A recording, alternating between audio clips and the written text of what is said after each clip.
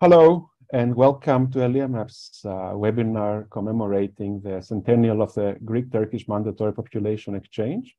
My name is Ioannis Grigoriadis and I'm the head of the Turkey program at ELIAMEP. I'm also an associate professor and Jean Monnet chair in European Studies at Bilkent University in Ankara. And I'm very honored uh, to moderate a discussion today on an event that has profoundly shaped the destiny of the Greek and Turkish people as well Greece and Turkey. Uh, it, uh, it is very hard to overstate the significance of the mandatory population exchange between the two countries that was agreed exactly a century ago. And uh, today we're going to have a discussion in two panels trying to explore the political legal aspects of uh, population exchange in panel one and the cultural historical aspects of population exchange in panel two. Each panel will, uh, have, will last for about 60 minutes. So we will start with panel one.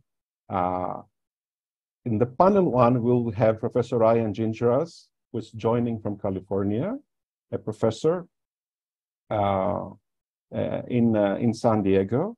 Uh, professor Evangelos Hatzivassiliou will be joining us from Athens, from the University of Athens on the Department of History and Archaeology. And we also have Professor Umut Özsu from Carleton University, who's an expert on the legal dimensions of population exchange. What we will be very honored to have uh, the beginning of this event with some opening remarks by one of the most eminent scholars in the field of studying the population exchange between Greece and Turkey, Professor Renee Hirschon, who's a senior fellow at St. Peter's College, University of Oxford, and who's also uh, a member of the advisory board at SEESOX, St. Antony's College, University of Oxford, will be speaking in the beginning uh, for the meaning of this event, both in Greece and Turkey, as well as on its ramification on Greek politics, history, culture, and Turkish politics, history, and culture. So I'm very honored to give the floor to Professor Hirschon. Thank you very much, uh, Ioannis. Um, I think you mentioned that this is the date on which the Convention of Lausanne was signed, the 30th of January. So we've actually hit the exact 100 uh, from the time of the signing of this convention. Um, I was invited to, I understood my brief is to try and introduce both panels by showing the the complementarity between the convention, the treaty, and the various uh, impacts that were created through the exchange of populations.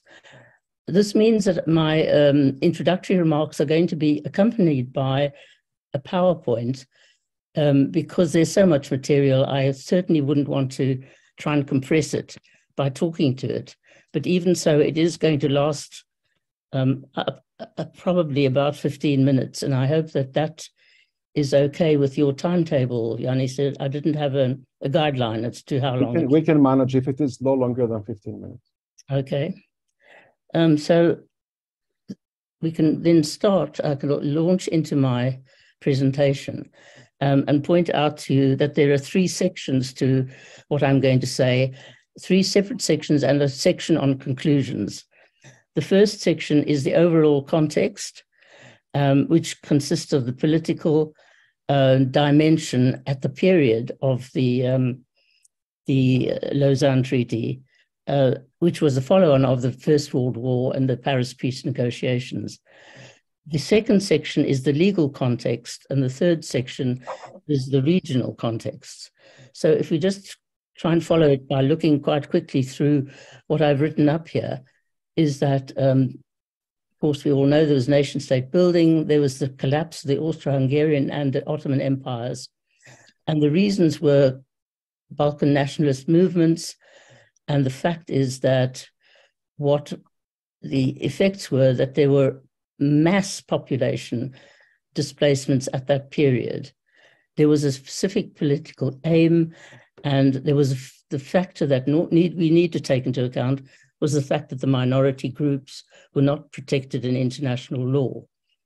This is because international law was underdeveloped. The League of Nations itself was an incipient institution, it was not supported by the US, and that at the time, the context of international law was relations between states, not based on individual human rights. That's quite an important change from the prevailing um, atmosphere in which we are living nowadays and which developed before and around the Second World War.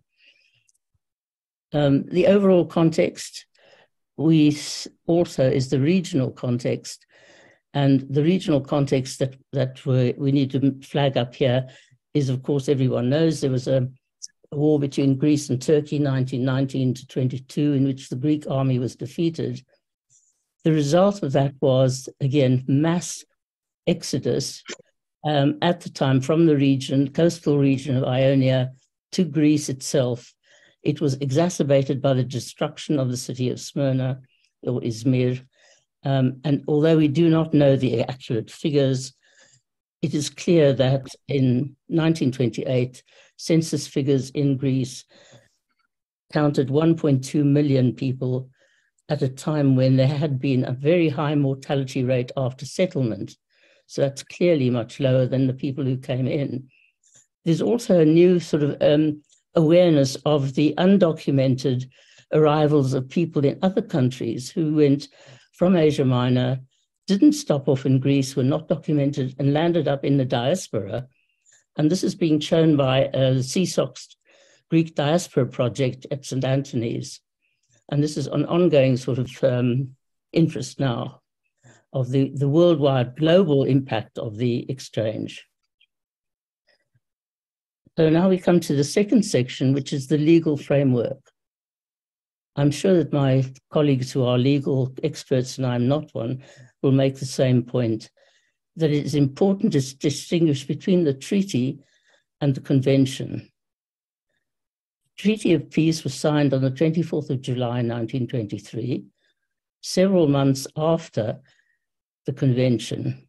And the aims of the treaty were to specifically to establish peace in the Near East and secondly, to redraw boundaries of new nation states with great power guarantors. There was a political battle going on between the arising great powers of that time. The convention, as I noted, and I hope we all noticed this, that I was signed today, 30th of January 1923. The second, second section of my presentation is um, the legal framework. So I've just highlighted some of the characteristics of the Lausanne Treaty, signed on the 24th of July 1923. It was an unprecedented international agreement for a compulsory population exchange, compulsory underlined as being entirely unique. It was ratified by nine independent nation states. And the important thing is that it only put the seal on a huge scale of population displacement which preceded it. Now I'll turn to um, the convention itself. And I think I'd like to spend a bit of time just going through this point by point.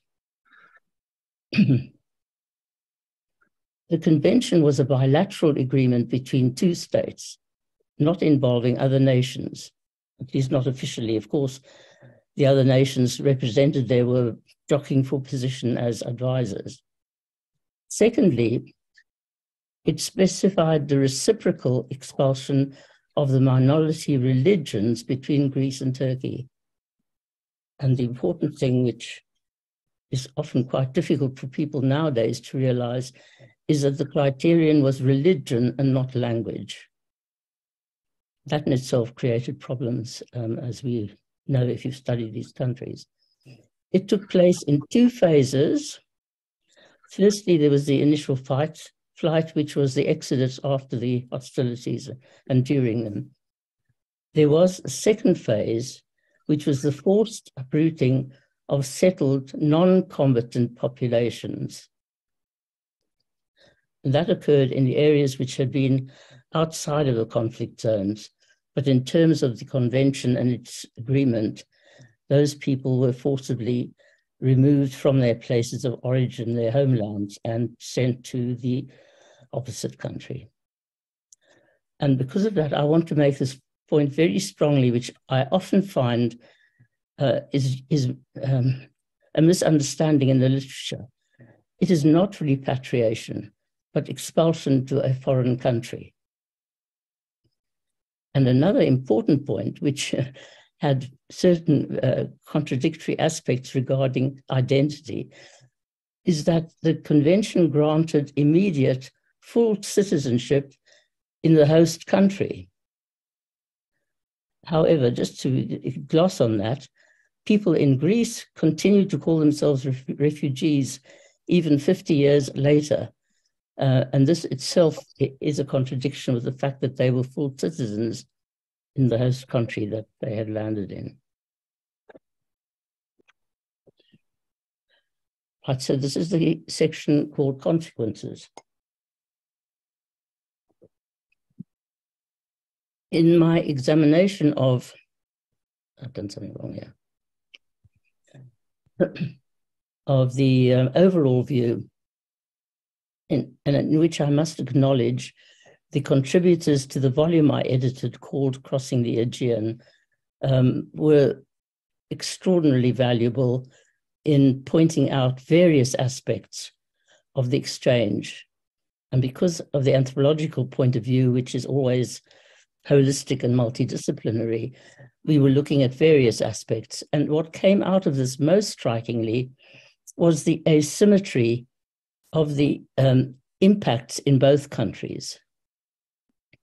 I put in a slide there of exchanged Muslims transported to Turkey in 1924. Um, and these are people from the northern part of Greece who were literally uprooted with short notice and had to leave and to go to another country.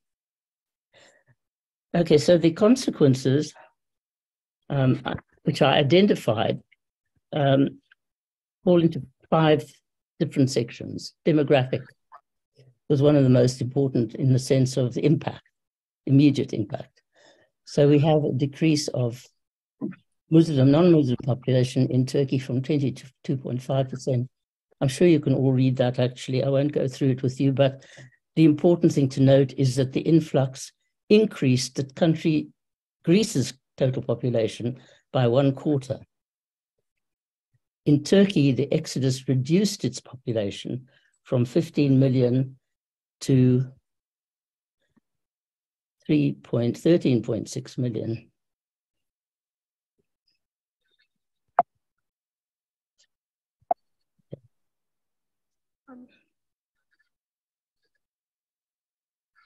Okay, look at the political situation or economic. Let's go to economic first. The important thing, which I'm very um, aware of the fact that there was this huge asymmetry in the experience because of the disruption that um, occurred in in the Turkish scene because of the loss of, loss of Greek and Armenian entrepreneurs who had trade networks and uh, part of the financial structure, which was the basis of the Ottoman economy at the time. Greece, however, gained, gained many entrepreneurs' skills, an enlarged labor force, increased market. To sum it up, though, for the Greek point of view, there were short term gains, but the huge costs of settlement and the, and the dependency on international loans, which led to the country's bankruptcy, created a longer term problem. And this was reflected in what was going on at the political level. Greece's political stability was compromised by dependence on foreign creditors, and the asymmetry is shown up by the fact that external foreign interference, which had plagued the Ottoman Empire in the late 19th century, ended for Turkey. Okay, we can look at some aspects of the cultural impacts through literature, music, and art. Interesting again, in literature in Greece, there was a flourishing genre of nostalgia for lost homelands. However, in Turkey, decades of silence until the 1990s And then a new interest in the expelled population started to be expressed. There's a key chapter in the Crossing the Aegean book by Heracles or Irakli Milas on the uh, effects on literature. In music, there is also an interesting contradiction in the sense that there's a, rather simplified view of the um, impact of music.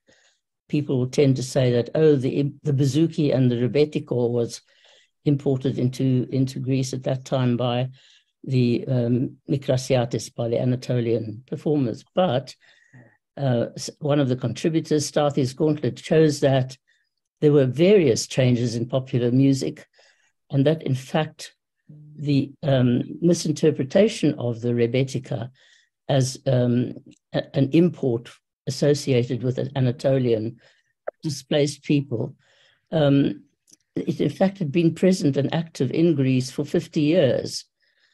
It did flourish after the 1923, after the influx of Anatolian performers. So the the um, particular issue that comes up in the chapter on music is that there was this um, tendency towards Orientalism expressed in a music genre, and it was counteracted by Westernizing tendencies that were also prevalent in Greece in the 1930s and later, um, and were also backed up by censorship of so-called Oriental music under the fascist regime of Metaxas. A very interesting paper. And I just one, one little comment on the art situation. In Greece, there was a revival of Byzantine church decoration with the influx of Anatolian artists.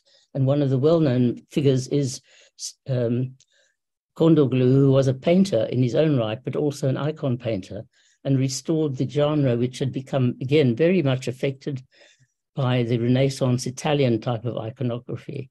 And it reverted to the closer prototypes of the Byzantine period. Social problems were another one, which, um, interestingly enough, has both symmetrical and a kind of common basis to it. So in Turkey, the exchange resulted or was accompanied by identity differentiation, which was suppressed. And the idea, the, the phrase was Turkey for the Turks. So homogenization was the key feature in Greece, in Turkey for that period. Um, and the, in the in the uh, crossing the Aegean book, uh, Ayhan Aktar has made a very important um, well, this is rather it, it's something he's written rather more recently. Is his own uh, reaction to noticing younger generation of Turks recognizing their diverse family origins, and that's something which people who are conscious of what's happening in Turkey at the moment will be able to verify better than I can. In Greece, it was important to note that the differentiation of identity became marked immediately following the exchange there was a distinction between metropolitan Greeks and the incomers who were Mikrasiatis and defined their identity in opposite, opposition to, who, to Hellenes. And I was struck by this as a, a young researcher at the time and had to try and unravel what the connotations were of Hellenes to a Mikrasiati. And so there was all these um, very fine distinctions. In Greece, too, there was another uh, dimension to the problems of integration and identity. Many of the incomers were Turkophones, Turkophony, and they were stigmatized and even excluded from places because of this. The term that was used for them, which was very uncomplimentary together with others, but I just mentioned that they were called baptized in yogurt, Yautu Vaftismeni uh, I think one other feature was that um, there were marked discrepancies in refugee settlements with regard to housing and to economic competition, so that poverty became a marked feature of those settlements for many, many decades. Okay, finally, the conclusions, and I've got those divided into two specific ones which relate to the Greek text ex exchange. as I noticed already, had a marked asymmetry in the two countries. I believe it can only be assessed adequately by a holistic, multidisciplinary approach which characterizes anthropology. For both sides, and here's a quote from my um, something I've published somewhere. This event, in which Yanni already pointed out quite clearly, it was a watershed in political, demographic, and sociocultural terms.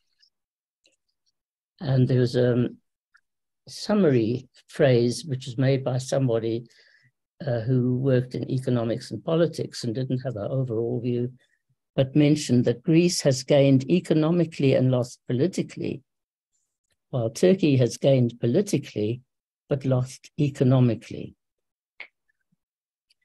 So finally, you can look at the general features which we, which I'd like to make an argument to the fact that there is a universal dimension to forced displacement. It's a common experience of losing a homeland. And in the Turkish case, it was on both sides. But in fact, it's the universal experience of those forcibly displaced anywhere. Attachments to place of origin endures, endures through successive generations. Population expulsions entail high human costs with long term ramifications. I have noticed and observed that at the political level, these human costs don't feature in the equation, and there seems to be a preference always for short term political stability. And it is clear from our experience that the short term is one uh, that c- can fluctuate quite wildly. In all of the cases where there are forcible displacements, I need only mention um, Israel, Palestine, Cyprus, uh, the Indian subcontinent, etc. So there's a lot of important, there's an important kind of message about our focus on the Lausanne Convention and its ramifications at a global level. And so my final conclusion is that political segregation as a short-term measure does not solve the sources of conflict. And um, I want to thank my very efficient research person. Okay.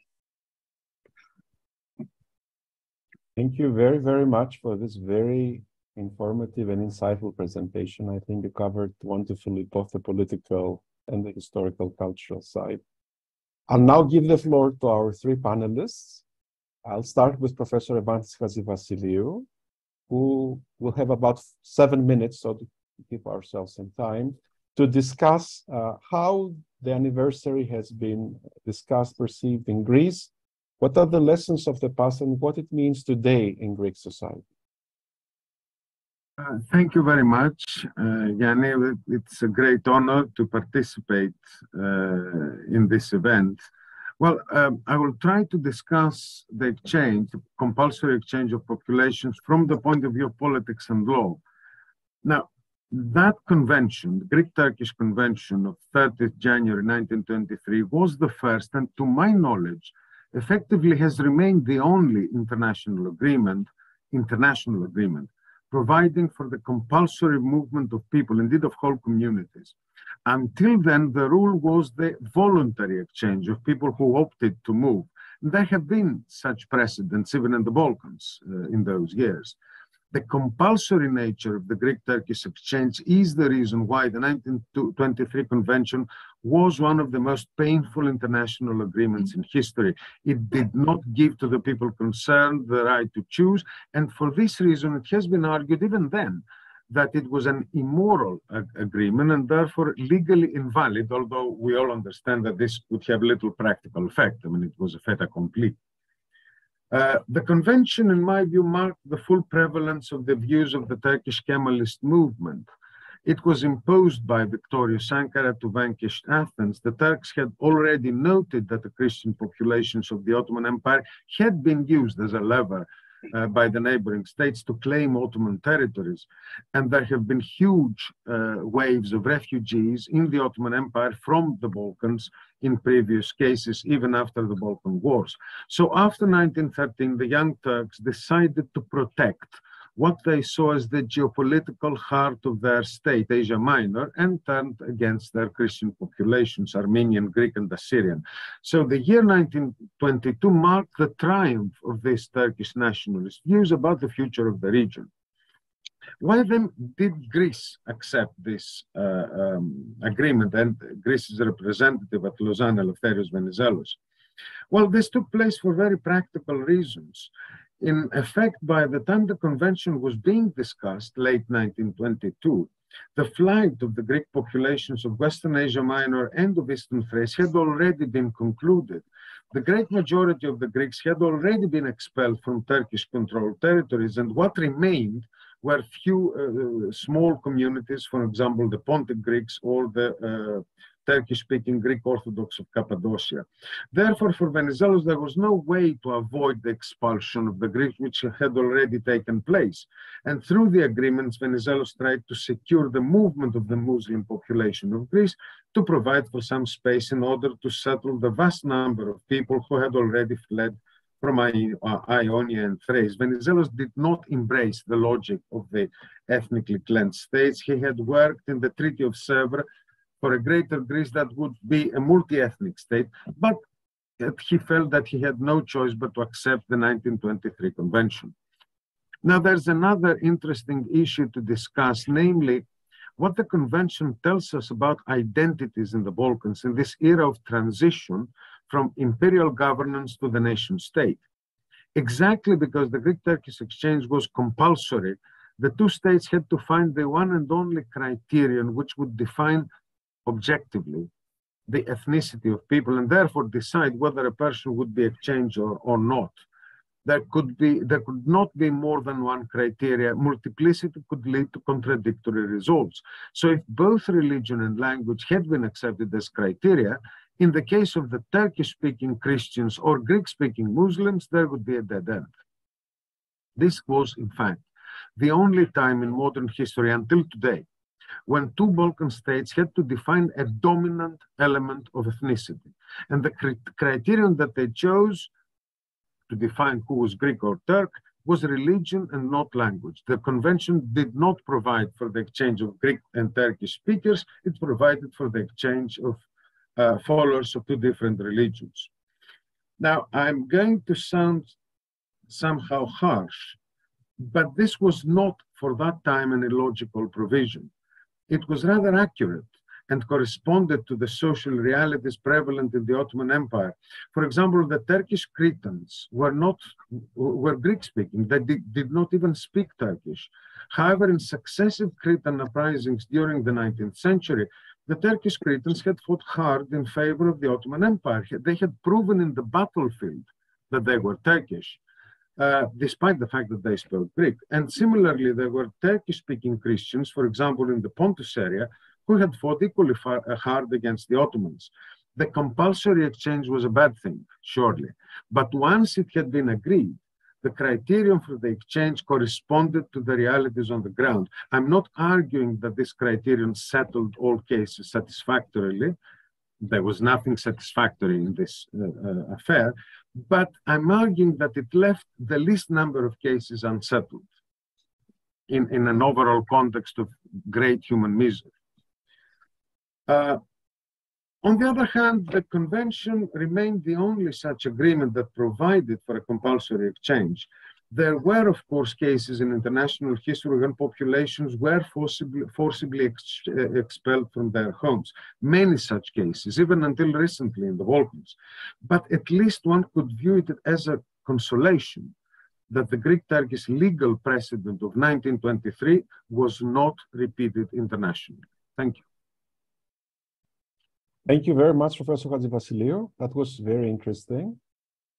I'll now give the floor to Professor Umut Özsu, who has done extensive work on population exchange from the legal and political dimension. And I hope he can also give us a perspective from the Turkish point of view, that is how the population exchange was dealt with in Turkey of 1923 and whether there's any discussion about it today. Thank you. Thank you so much, uh, Professor Grigoriadis. Uh, I apologize for, for mangling your, your name. Uh, uh, I've I've I've long been a fan of the work of um, you know everyone involved uh, in this in this webinar. So I'm so I'm very very uh, you know thankful and honored to be um, to be involved in it. Uh, Professor Hirschon's uh, edited volume was one of the first things that I read on the uh, compulsory exchange when I was working on this as a graduate student many years ago. Um, so the first thing that that I just like to sort of say is that I approach this topic um, as an international law scholar first and foremost. So I am not an Ottomanist. I am not a historian of Turkey as such. I'm a historian and theorist of international law, public international law in particular. Um, and uh, I worked on this topic as a doctoral student uh, from about 2007 to 2011. And then the, the resulting uh, dissertation was published um, in 2015 by Oxford. Um, so what I try to bring to these discussions is um, a sociologically, historically, and political economically informed analysis of the exchange process from the standpoint of international law. Um, so what I'm going to try to do in my in my comments here, and I'll try to be brief um, um, because I, am I'm very interested in, in hearing everyone else, um, is, is situate the population exchange process from an international law uh, perspective or, or against the background of international law, contemporaneous international law, first and foremost, but the history of international law more broadly speaking, uh, more generally. So the first thing that I would note is that this is, as Professor Hirschon um, and, and, and everyone else, um, you know, is is uh, rightfully pointing out, an international treaty. Uh, we've got a convention here in in in January 1923. Uh, um, a convention is, uh, the term convention is interchangeable with the term treaty uh, for international lawyers. Uh, so this is an international treaty. Um, so, um, you know, that is a canonical positivist instrument of international law making that two or more states can, can, can um, you know, be engaged in. Uh, so the first thing that I would note is, uh, and I'm reading from my book here, um, is that uh, this is an international treaty. What's more, it's an instrument that regulated um, or purported to regulate the exchange procedure that was negotiated and drafted uh, in the form, the specific form of a treaty, as that was understood at the time. Uh, that treaty was deposited with the relevant authorities. It was registered with the League of Nations, uh, the foremost international organization at the time, of course, the precursor of today's United Nations. It was published in the League of Nations official compendium of treaties. Um, so these hundreds of volumes of the League of Nations treaty series that that we can you know access in any of our libraries. Um, you know, it appears there along with all of the other instruments that together comprise the Lausanne Peace Settlement. Uh, so the Lausanne Peace Treaty itself, but you know the the more than a dozen instruments uh, that together comprise that settlement, all of them uh, were published as part of that treaty series. Um, the treaty entered into force with the requisite ratifications, and most tellingly of all, it was accepted and understood by the concerned parties, by third states, and by the Permanent Court of International Justice, which is the precursor to today's International Court of Justice, the so called World Court, the highest court of international law, and ostensibly at least the highest court in the world. Uh, it was understood by the World Court as a specifically legal document that generated specifically legal obligations, obligations under international law uh, as well as obligations under domestic law, the domestic law in Greece, as well as the domestic law in Turkey. Um, so that is the first thing to note. Um, and the conclusion uh, that, that comes from that is that to dismiss the international uh, treaty, the Convention on the Population Exchange, as illegal or perhaps extra legal under these sorts of circumstances would, uh, I submit, uh, be to falling prey to a naive and historic and ahistorical idealism. Um, it would be in effect to elide the fact that international law and its various precursors, so jus gentium, uh, droit des gens, uh, the public law of Europe, it's been called many things uh, in many different places. Uh, before and after Jeremy Bentham coined the term international law in the last decade of the 18th century, um, you know, to dismiss the convention as illegal or extra legal would be to elide the fact that international law and uh, its its precursors have always been intrinsic to the exercise of state power. not least in the context of interstate conflict, not least in the context of mass deportations, mass expulsions. Uh, so that would be the first thing to note. Um, and I note that not in any way to justify or to excuse or to defend the population um, exchange procedure, not in the least, um, but to understand that international law itself, you know, has its own quote unquote dark sides, right? Um, uh, oftentimes, uh, you know, I'm an educator, and oftentimes, you know, a lot of uh, you know students, particularly undergraduate students who approach international law for the first time, are of the view that international law is a humanitarian and compassionate enterprise, and that you know we need more international law, not less of it, and that if we have more international human rights law or better enforcement of international law, then we'll have a better world, and so on and so forth. Well, not so fast. International law has been integral to and absolutely vital to the histories of colonialism, imperialism, and neocolonialism, and so on. Um, and here we have an instance, uh, a very tragic instance of, of, of a compulsory procedure that uproots uh, hundreds of thousands of people that is justified, legitimated, formalized in and through international law and in and through international organizations like the League. So that's the first point. The second point is the question of the legality of the treaty itself, the question of the legal credentials or qualifications, as it were, of the treaty itself from the standpoint of contemporaneous international law. So, what did international lawyers at the time in the 1920s and 30s make of the uh, convention, make of the procedure itself or the exchange process itself? Did they have anything to say about it? How to, has that played into the development, the progressive development of international law, or not so progressive development of international law subsequently? Uh, so here again, I'm reading from my my book, but um, um, what I said there was um, the legal status of population transfer, both of the explicitly compulsory and of the nominally voluntary kind, and the uh, uh, distinction between the two, while clear conceptually perhaps to some, is in fact in historical practice very very slippery. Of course, we know that so-called voluntary uh, population transfers, what are now called voluntary population transfers, are shot through with all manner of coercion and persecution so as to effectively be compulsory, even if they're not formally, formally characterized as such. Uh, the legal status of population transfer, both compulsory and voluntary, was anything but settled at the time of the exchange. The Hague Conventions of 1899 and 1907 had made no mention of forcible displacement as such. In fact, with the exception of Article 23 of the 1863 Lieber Code, which was formulated for the US um, Civil War uh, by Francis Lieber, a German American international lawyer. Um, that code, which contained a vague prohibition on, quote, the carrying off to distant parts of private citizens, it would not be until after the Second World War that international legal instruments containing express or implied prohibitions of population transfer, such as the Genocide Convention, uh, which contains a subprovision on the forcible transfer of uh, children from one group to another, and the Fourth Geneva Convention, uh, which effectively prohibits uh, mandatory or compulsory population transfer. Uh, it would not be until then that we would begin to have these sorts of express or implied prohibitions of population transfer.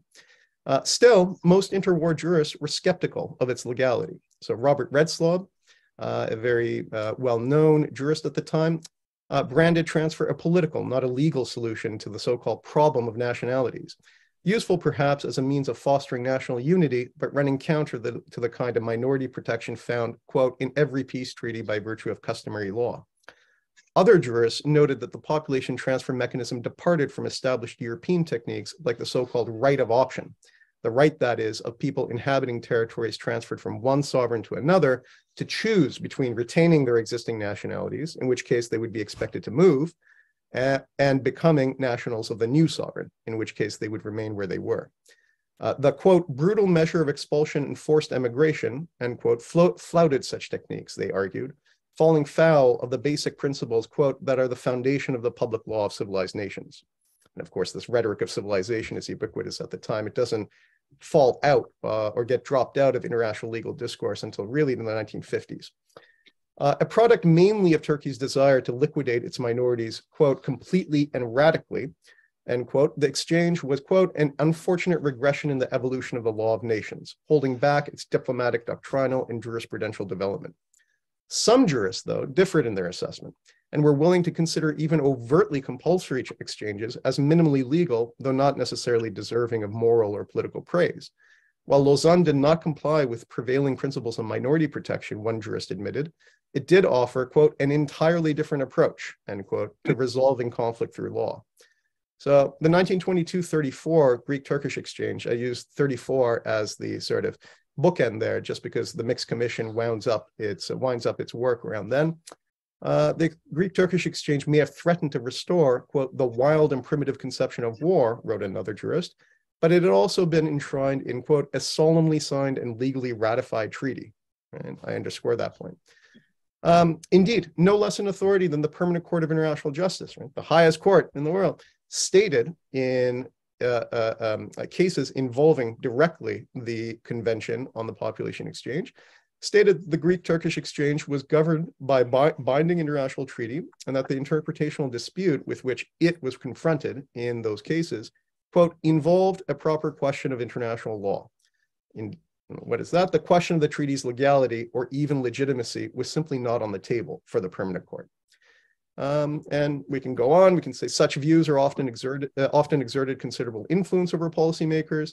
British authorities in Mandate era Palestine were so impressed by the Greek Turkish endeavor that they too would entertain an exchange, so as is well known. Um, the Peel Commission, you know, famously wrote in its report in 1938, uh, whereas formerly, quote, the Greek and Turkish minorities had been a constant irritant. Uh, um, I'm continuing with the quote, the ulcer had now been clean cut out. And that, in the Peel Commission's view, placed relations between the two states on much firmer footing, Greece and Turkey, that is. And so that was a model to be used for Palestine. Um, of course, we all know what happened with the Nakba and everything else. Um, so that's the second point that, that I would like to sort of just underscore here, that not only is this an international treaty, which tells you more about the dark sides of international law than it does about the exchange process, perhaps, but nevertheless, it's an important point, uh, but that there was considerable uh, agreement around the the the uh, minimal legality, or at any rate the uh, minimal legality of the treaty, or at any rate the idea that that it didn't run afoul, it didn't contradict uh, existing international law, whether international treaty law or what we now call customary international law, uh, directly or explicitly. Uh, the third and final point that I would make, perhaps if I have time, um, Professor, yes um, is in regard to the question of, of how precisely the law relates to the facts, to the historical process itself. So, how precisely does the exchange treaty or the exchange convention intervene in or formalize or constitute or reshape, right, depending on your interpretation, the exchange process itself, right? So, this is the question of whether the exchange treaty is essentially a fait accompli, uh, and after the fact rubber stamp of something that is already unfolding because of the destruction, the partial destruction of Izmir, Smyrna, and the expulsion of, of, of uh, ethnic Greeks, ethno-linguistically defined Greeks uh, from the Asia Minor coast, the Ionian coast, and, and to some degree from Eastern Thrace as well. So on this, um, this is what I had to say, uh, you know, in 2015. Um, uh, as the first legally structured compulsory endeavor of its scale and sophistication, and I have a chapter specifically on the 1913, 1914 uh, um, uh, attempts to work up population transfers uh, between Bulgaria and the Ottoman Empire, between Greece and Turkey, and then 1919, where we have the Greek-Bulgarian uh, uh, mechanism for population transfer as well. But this is, of course, mandatory, and it's on a massive scale, the Greek-Turkish exchange. As the first legally structured compulsory endeavor, compulsory endeavor of its scale and sophistication, the sheer ambition of the exchange was staggering. Over 1 million Greeks, or those identified as such, were uprooted from Asia Minor and Eastern Thrace immediately before and during the formal exchange, which began in 1923 and continued for years to come. Uh, and that's the formal exchange, right? 1922, of course, we've got the expulsions and something in the vicinity of 350,000 Muslims, or those so classified, were expelled from Greece's mainland and islands over the same stretch of time. The formal exchange, concluded at Lausanne in January 1923, followed the expulsion of large numbers of Greeks and others from Asia Minor and Eastern Thrace in 1922, particularly after the partial destruction of Izmir, and has therefore sometimes been presented as an endorsement of an already existing reality. This, in my view, ignores the fact that the formal exchange called for a variety of fresh movements, nearly all 350,000 Muslims and roughly 200,000 of the concerned Greeks. It also, crucially, misses the point that the formal procedure lent legal legitimacy to a set of movements that redistributed land and capital across enormous swaths of territory, establishing a comprehensive legal regime to manage relief, resettlement, and indemnification efforts. More than two months of tough negotiations were needed before Turkey and the Allied powers were able to agree on the terms of the exchange, and all parties invested heavily in the talks. This was an exercise both in producing new facts on the ground and in juridifying the dispossession, displacement, and capital accumulation that had already taken place.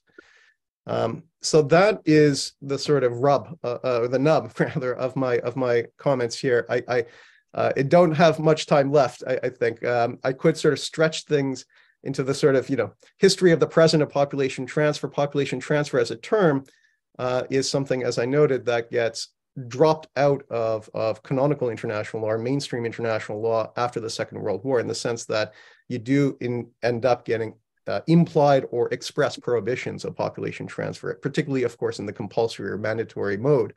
Um, but um, you know, population transfers continue all the way through, right? So we can think about you know, Idi Amin and the expulsion of South Asians from Uganda. We can think about Cyprus in 74, the expulsions north and south. Uh, we can think about ongoing developments in Syria, uh, the forced displacements in Syria uh, that have completely uh, uh, uh, altered the demographic realities on the ground in that country. Arab, Turkmen, Kurdish, you know, various other groups and so on. Course, confessional groups as well, Christians of various kinds and so on as well. Um, so there are many, many examples that we can give, and there, there examples like, for example, Hungary and Czechoslovakia after the Second World War that Matthew Frank and others have, have done notable work on as well. Uh, but if you stretch it right to the present, you can think about the readmission agreements that have been concluded between Turkey and the EU in recent years for the, the uh, uh, regimentation and, and, and, and corralling of, of, of, of refugees and displaced persons from Syria and elsewhere. Um, how that controls mobility. If we can conclude, Professor Su, because yes. we need to keep our time. Absolutely. And the other uh, example I would give is climate change refugees, where there are attempts to work up what are in effect mandatory population transfer schemes in order to ensure that you know citizens of, of tiny island states that are literally being submerged as a result of climate change are able to live elsewhere. So I'll stop there. Thank you. Thank you very, very much for this very interesting presentation. And I'll give the floor to Professor Ryan Gingeras, who's joining us from uh, the United States. Thank you very much for coming so early. Uh, Ryan is in California, so he is it's a great thing to be uh, with us so early in the morning. He teaches at the Naval Postgraduate College. He's a professor there, and he has written several very interesting books on the late Ottoman history and the transition from the Ottoman Empire to the Republic. So he's a very qualified person to talk about how the population exchange has featured in Ottoman Turkish history as well as international history of the time. Please unmute.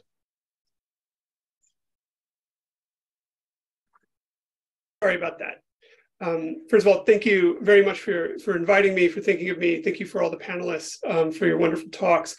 Uh, I know we're almost to the hour here, so I'm going to try to be as brief as possible. Um, you know, I was uh, charged today to talk a little bit about the international implications uh, of the treaty. Uh, and I, I, have to say that I think virtually all the panelists have talked about this to some extent or um, or another. And so, I, in some respects, I, uh, I can keep this part very brief. Um, as we've already heard um, over the last uh, 45 minutes, uh, the development of the treaty in terms of uh, its legal precedents, its historical precedents, um, uh, is a subject of, of considerable interest. It's, it's clear that immediate historical precedents came into play in the development of the treaty, and specifically thinking about um, the case of the Ottoman Empire. Um, it was in 1913 that the Ottoman Empire established a population exchange, a, a, a not just a transfer of one population uh, from one state to another, but mutual exchange between Bulgaria um, and the Ottoman Empire uh, in terms of their popu shared populations on the border. uh, in again uh, at the very close of the Second Balkan War. Um, most certainly, um, other precedents uh, stood to, to bear in terms of the, the mass flight or mass, uh, mass transfer of populations from the Balkans to rump uh, portions of the Ottoman Empire.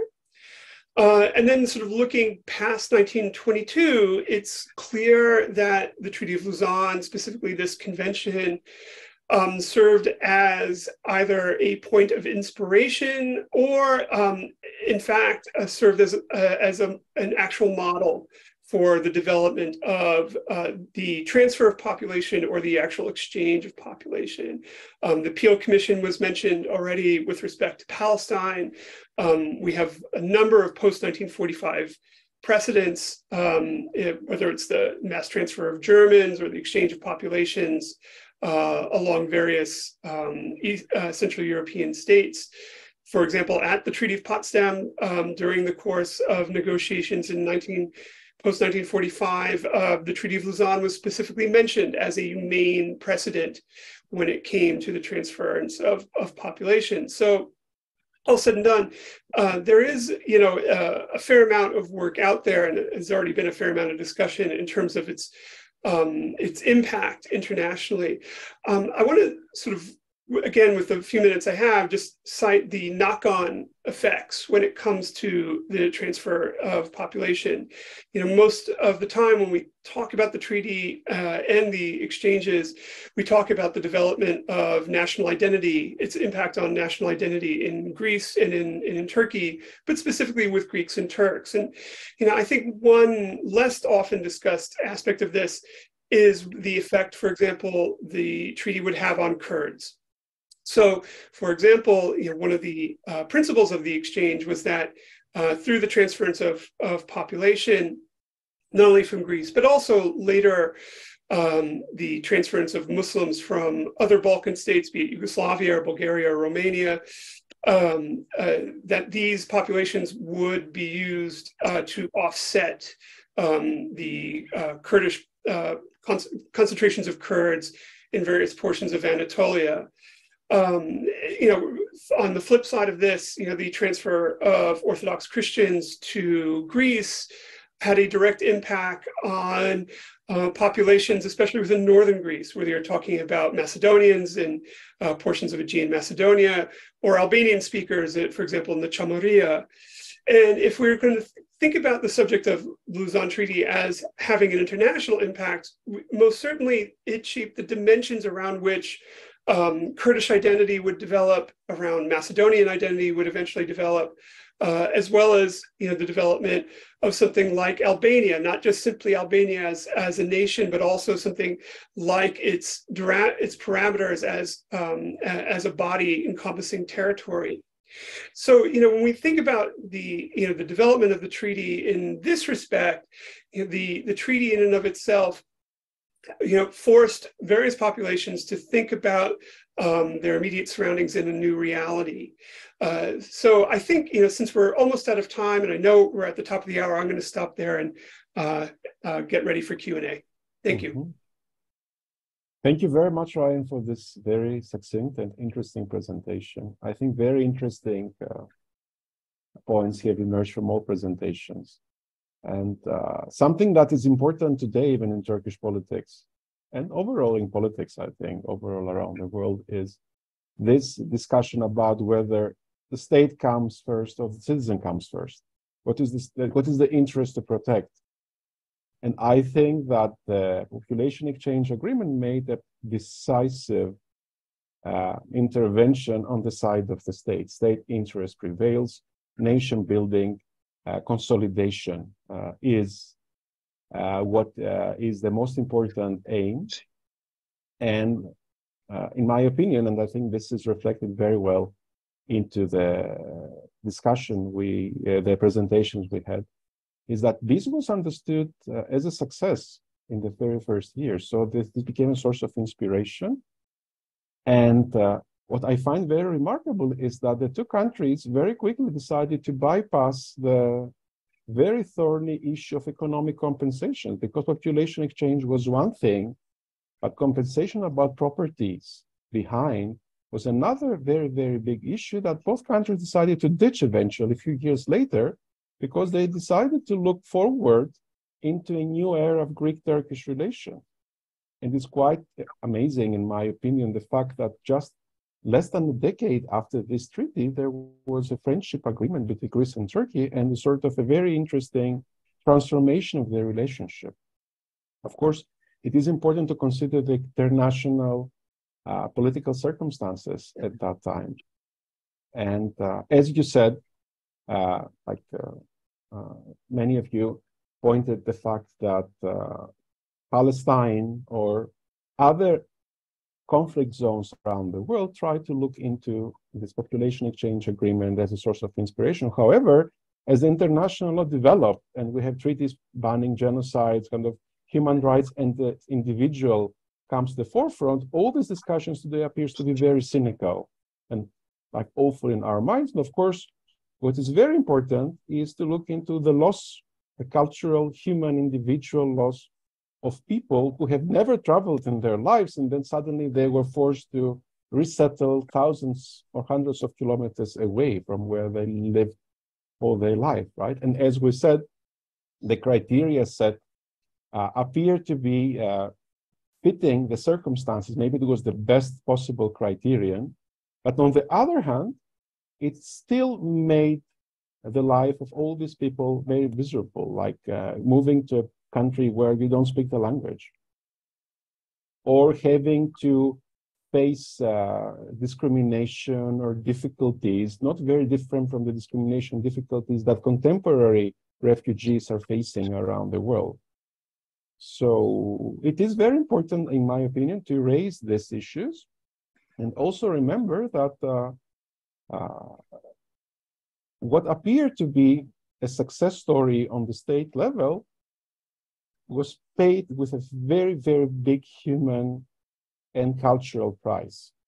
And uh, this uh, transformation became maybe more profound in Greece, where the school discussion was very strong for many years, maybe because of the demographic uh, sort of uh, dimension as well, which was raised by Renee, that the fact that the uh, population of Greece was raised by 25% in a few weeks.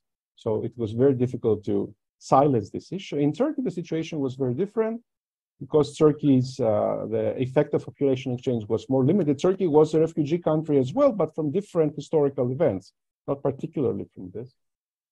But in recent years, and with uh, the opening of Turkish civil society discussions around 20 years ago, there was a new space for these issues to be discussed in culture and art.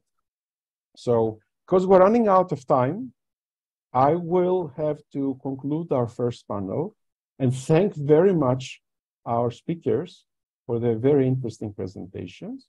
We will have an opportunity for the audience to ask questions in the second panel that is coming soon, where there will be an emphasis on uh, culture and history and memory. We will look into how population exchange has been reflected on, uh, the, on the history and the culture of Greece and Turkey. So any questions? Any of the panelists may want to stay online uh, so that they can answer the questions later. But uh, there will be a new moderator that is going to be Nick Danforth who will be taking over soon with a new set of uh, very uh, interesting and very uh, knowledgeable panelists. So thank you very much for being with us. There will be a short break now, and then uh, Nick will take over. Thank you so much.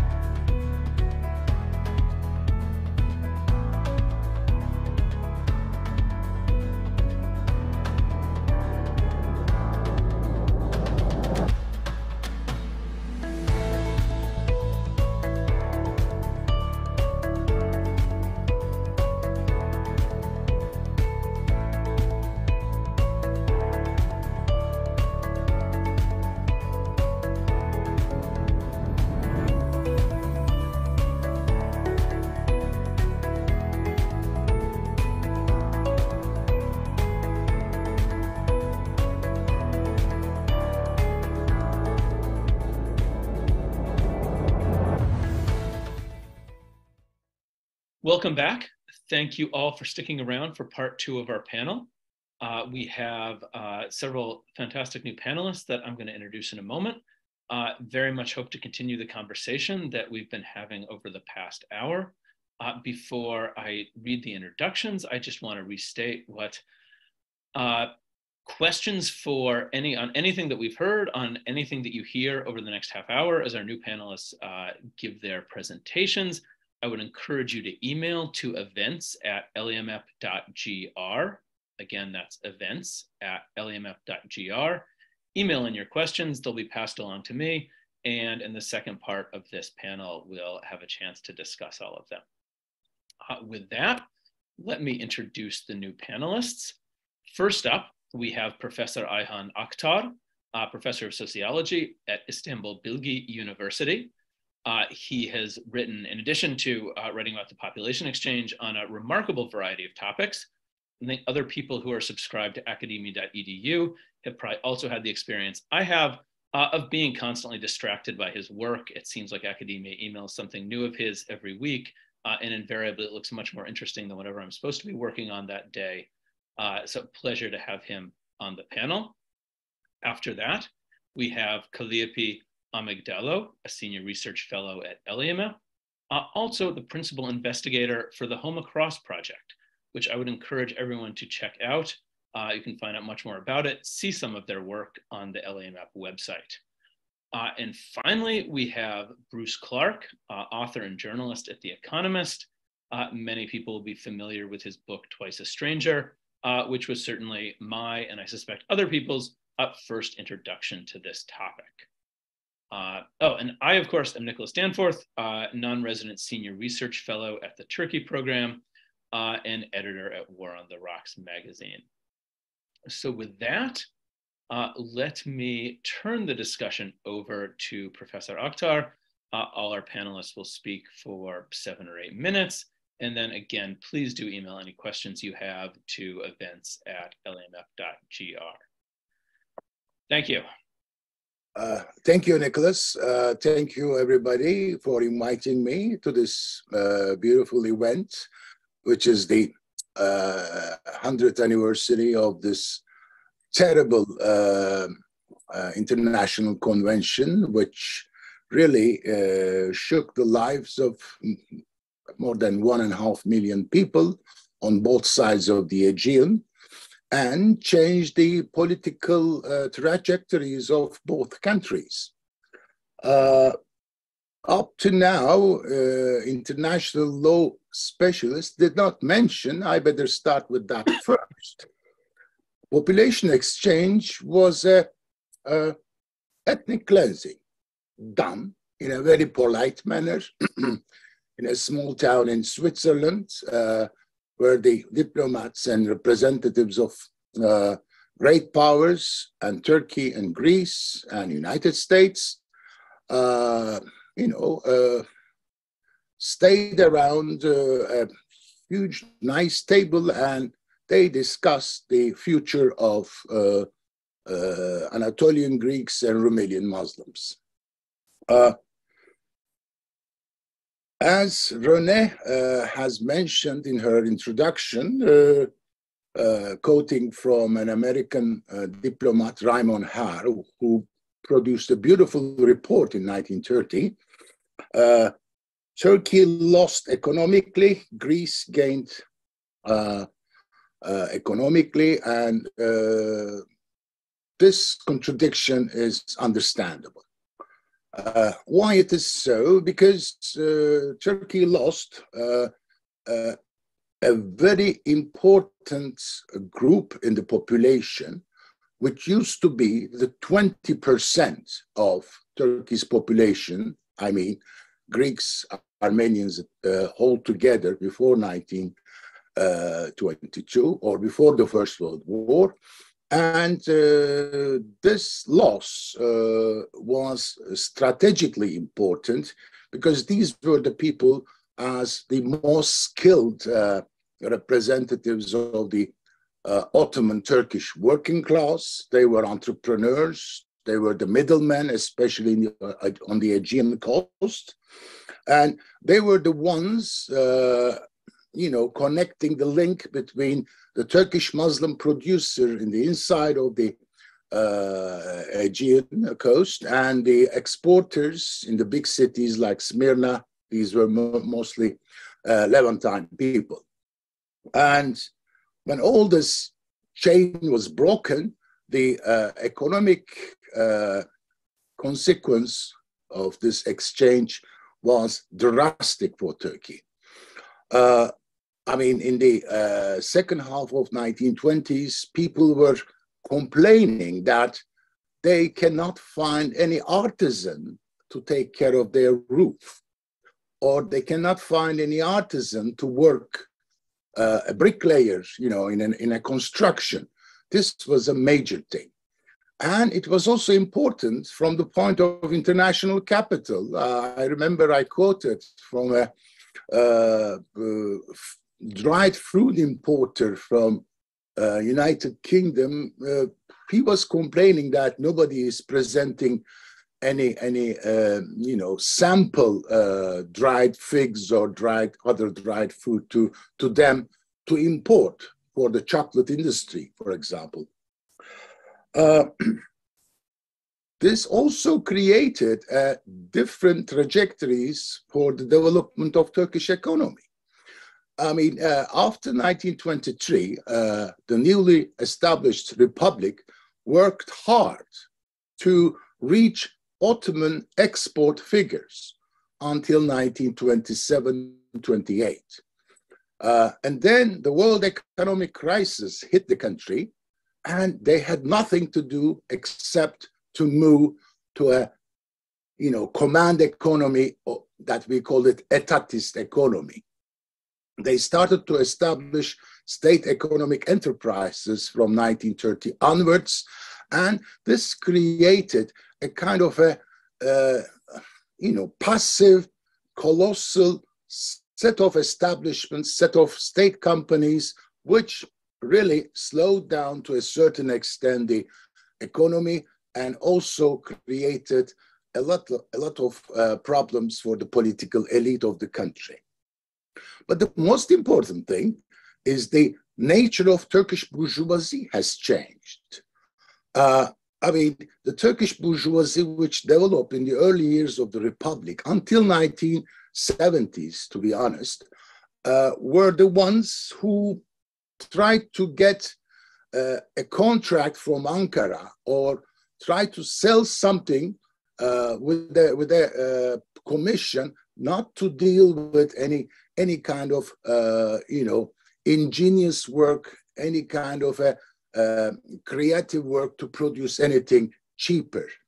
Uh, the Turkish bourgeoisie uh, is is a, a, very strange animal that uh, it is uh, competing in the corridors of the ministries in Ankara in order to get more commission work, more commission uh, uh, uh, Uh, uh, uh, contracts.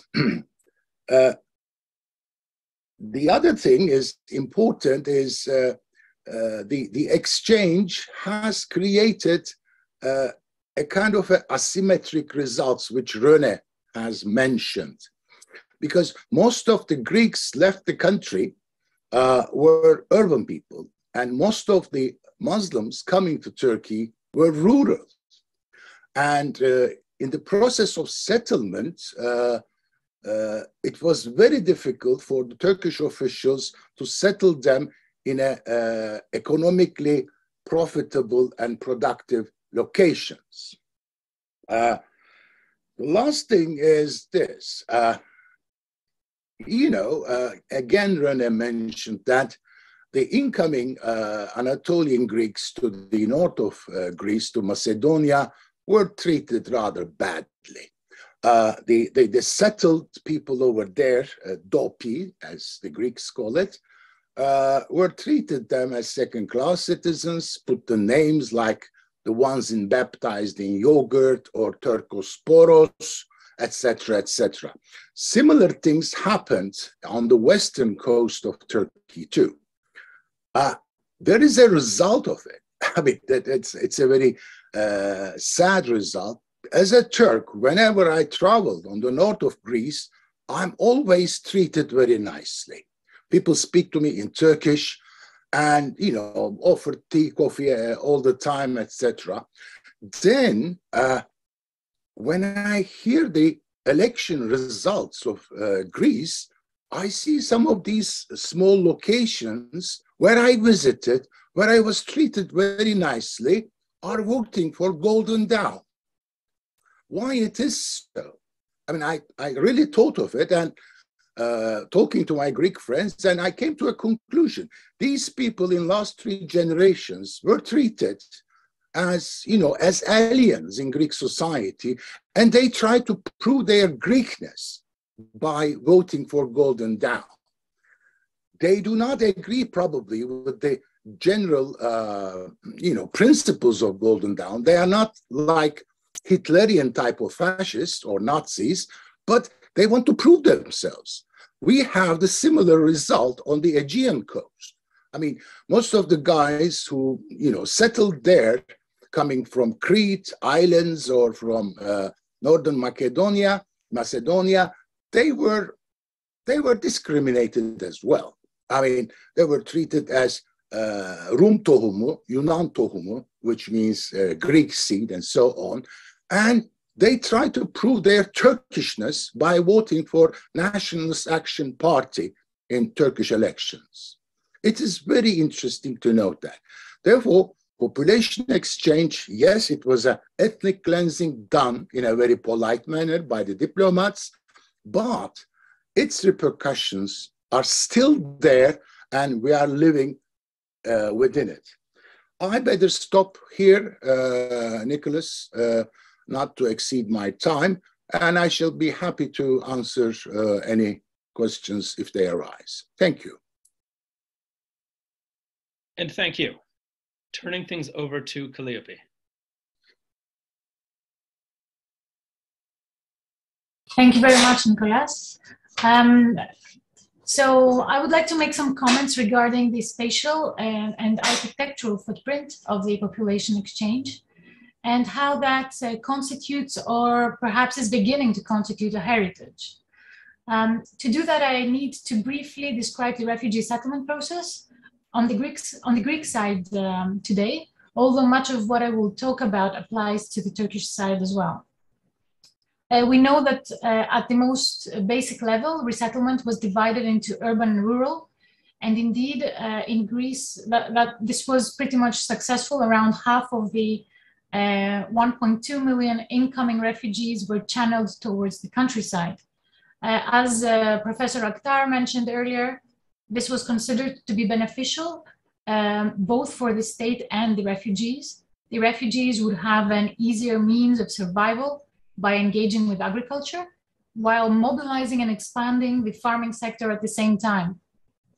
Hundreds of new villages were constructed from zero, especially in northern Greece, uh, while large infrastructural projects were combined with the resettlement process. We usually don't think about it, but things such as diversions of rivers and dams and the draining of swamps uh, happened in parallel with the refugee resettlement process. Um, and uh, meanwhile, hundreds of thousands settled in the urban centers. Whole cities expanded with new neighborhoods and suburbs, somewhat, sometimes doubling in size. In 1928, 30, almost 30% of the population of Athens and 40% of Piraeus were refugees, while in cities like, as, like Drama in northern Greece, refugees constituted 70% of the population. Now, apart from the main division into urban and uh, rural, uh, one can categorize this huge spatial transformation because you can imagine the impact of this uh, exchange on the urban and rural landscape. Uh, one can um, categorize this along four main types of settlement. And the first and uh, well known to all of us is the housing and exchange properties. So Greek refugees were housed uh, in the uh, homes of the outgoing Muslims and the other way around, of course. Now, through a clear bureaucratic, financial, and legal process, this 19th century Ottoman built stock was transformed into refugee housing. So we know from uh, the archives that, um, for example, houses were evaluated one by one, uh, qualitatively and quantitatively. Um, we have descriptions such as, you know, this is a house of medium condition, it has two rooms and a barn. Uh, it's evaluated at eight uh, English pounds, and this sum is charged on the refugee. So the refugee owes uh, to the state or to the um, refugee settlement committee this amount of money. Um, so in this sense, this built stock uh, of the exchange properties is a double heritage. It is um, it is the heritage of the outgoing refugees, the Muslim refugees, but also of the incoming Greek uh, refugees. It's, it carries significant layers of meaning for different displaced groups and can be placed within a, a larger history of, of displacement. Um, second, we have uh, lots, very a, a big, a very big amount of housing constructed by the state or the Refugee Relief Fund or the Refugee Settlement Committee. Less so in Turkey, more so on the Greek side um, over many decades, decades in different forms, ranging from wooden shacks to modernist mass housing units in the 30s. So in, this, in their simplest form, these uh, structures, as uh, Renee Hirschon has uh, shown very well in her landmark work uh, on Kokkinia, uh, these structures were single rooms made uh, of mud brick or wood, around 20 to 30 square meters, one for each family, which formed rectangular urban blocks with interior courtyards. Now, this first emergency architecture was not meant to be fixed or complete. It offered a minimal dwelling, a chance uh, for survival, and it was expected that the refugee would complete, improve, subdivide, or expand it. Later in the late 20s, we have we see two, two floor stone structures uh, containing two, four, or even eight residential units. These were, these were better in quality and larger in size. This happened, started happening in the second half of the 20s and into the 30s. And then in the 1930s, we witnessed the construction of modern mass housing units, uh, such as the ones in the famous ones in Alexandras Avenue. We have so many all over Greece um, and important modern architects such as Kimon Laskaris, Dimitri Kyriakos, Angelos Siagas were involved in the design of uh, some of these mass housing units. Now, it's important to, to note perhaps that uh, the design of all these uh, different typologies that I've been talking about uh, was not a local affair.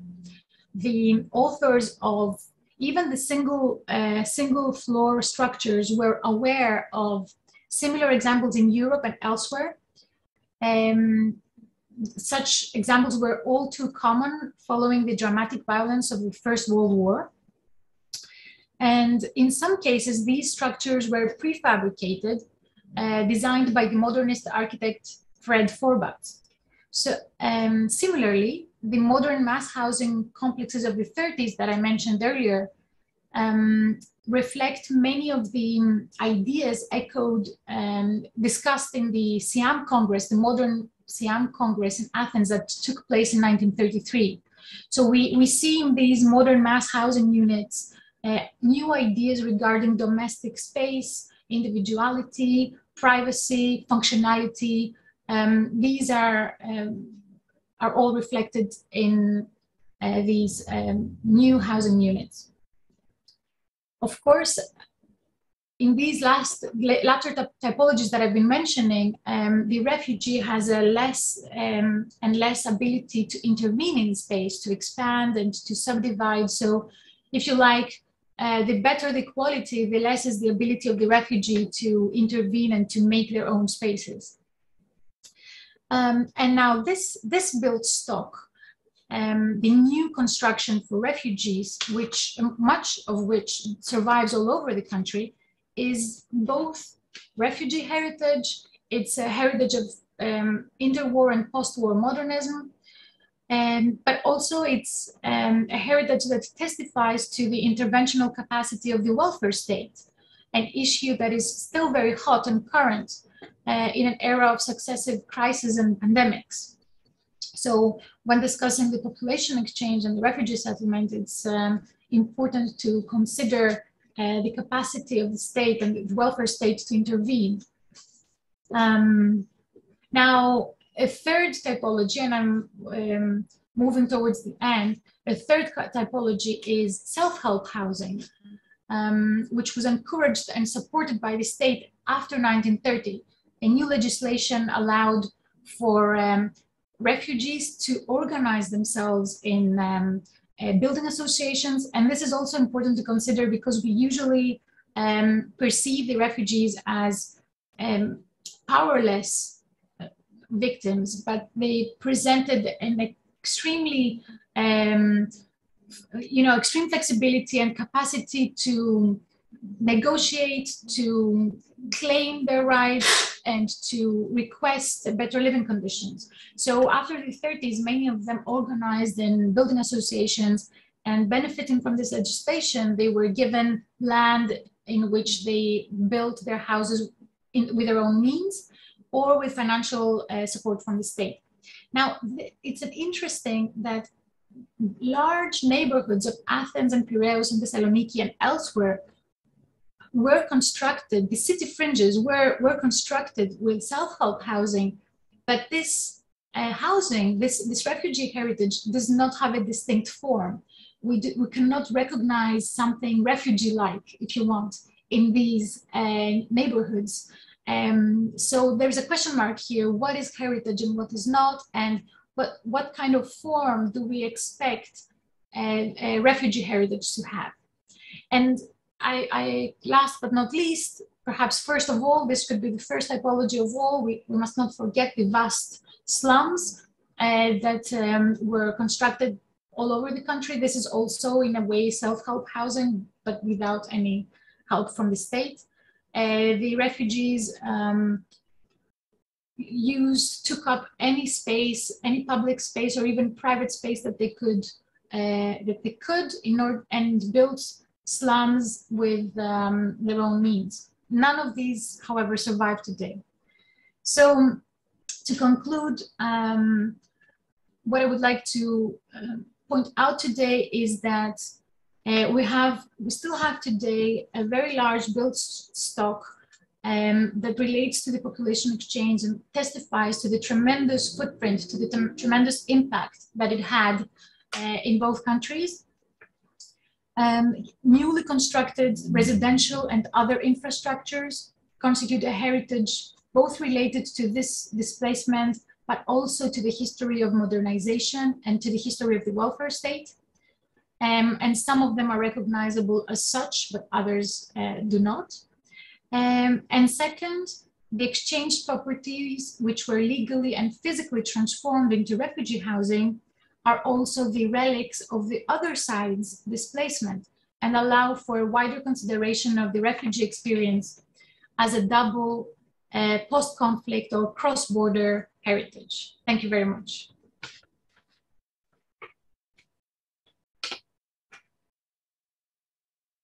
Thank you. And now, Bruce, we'll turn it over to you. Hello, hello. Uh, very good to be with you. I happen to be in Venice at the moment, but uh, that seems to be a perfectly good place to participate in this conversation. Um, uh, I, I, I, will try responding uh, a bit spontaneously to the last couple of speakers. Um, in response to Ayhan Aktar, I would say that I consider the term ethnic cleansing entirely legitimate and factual and descriptive.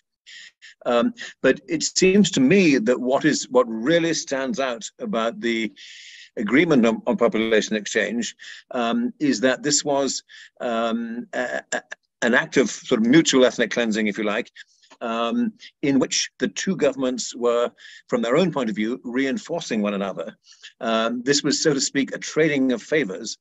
Um, now, obviously, you know, victorious Turkey was in a much stronger position than defeated Greece but nonetheless, in the in the calculus of relations between states, um, this was perceived at the time, and I think through the 20s and 30s, as an act of mutual goodwill in a certain perverse way, um, in in the sense that uh, you know from the sort of strategic Greek point of view, um, the fact that the Turkish government was willing, so to speak, to withdraw and take under its aegis uh, the Muslim population of Greece. Um, it well, for, for, one thing, at a practical level, it freed up space and property in Greece for the newcomers to occupy. Um, and it also it it, um, it lent legitimacy to the whole process, including in the eyes of the Orthodox Christians arriving in Greece. They were they found it easier to accept their fate uh, in view of the fact that you know, the other side were suffering this as well. Um, so, so in, in, in the deadly calculus of relations between nation states, this was uh, a case of two states, two governments, two regimes, if you like, reinforcing one another. Um, and I think that, that maybe that, is, that hasn't been explicitly said in the conversation so far. Um, I, have been thinking recently about parallels uh, between uh, in, in and Turkey with respect to the reception of the newcomers on each side of the of the, of the Aegean. Um, I think in, in, in, in both cases, you can see that the the, the, the newcomers uh, they were entering countries um, in which the sort of so-called nation-state ideology was very well entrenched and indeed gaining strength. Um, and their fate was very much determined by the strength of, of, that ideology and the way it strengthened in some ways even further during the 1930s. Um, just uh, speaking initially about the, the, the, the, Greek side of things, um, let, it, I think it's, it's conceptually helpful to think of sort of assimilation or the failure of assimilation happening in three stages. Um, it seems to me that you know, well, one possible state of affairs when a wave of newcomers arrive is for the existing population to say, "We don't want you. You're aliens. You're outsiders, and whatever you do, we don't want you. And so, don't even try adapting to us because we'd rather you hadn't come." That's sort of an extreme form of rejection, uh, which is in in in, in a way not not far off what one part, one segment of the Greek population felt uh, in response to the Asia Minor refugees arriving. Now, uh, phase two, if you like, uh, is the state of affairs where the established population says, uh, yes, um, uh, you can be accepted here, but only on condition of abandoning all characteristics which make you distinctive. In other words, you have to buy into uh, the culture, the norms, the legal borders uh, of the pre-existing population, and uh, on that basis, uh, you can find your place in the new state. And in a sense, that was the bargain um, that the refugees in Greece were offered by the Metaxas regime. And you know, to many of them, uh, it, it, it, must have been welcome, uh, and indeed many of them did welcome it in the sense that you know there was there was a an intensive program to oblige people to learn Greek, uh, to forget whatever dialect they spoke, to forget Turkish, uh, adults as well as children, uh, and this was kind of a grand national bargain under which yes you could be accepted, but only on condition of forgetting everything that made you distinctive. Now, stage three, hypothetically, of assimilation, characteristic of liberal states, is to say, yes, you can be here, uh, and, and, and you can also retain some of your distinctive characteristics. Um, uh, and still be part of the family.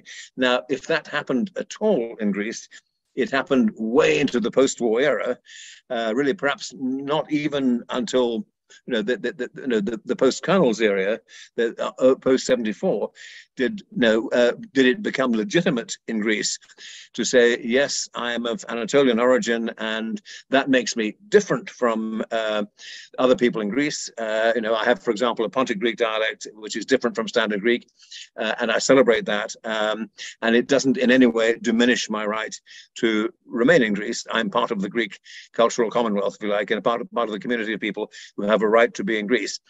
So you know, there, there are there are three possible stages in assimilation, and and, and I wonder to what extent, uh, as a hypothetical question, you could apply that that uh, that, that model to, to Turkey as well. Um, something that strikes me as common to both countries is that um, in, in each case, the community of exchangees uh, was caught up in a much wider homogenization drive.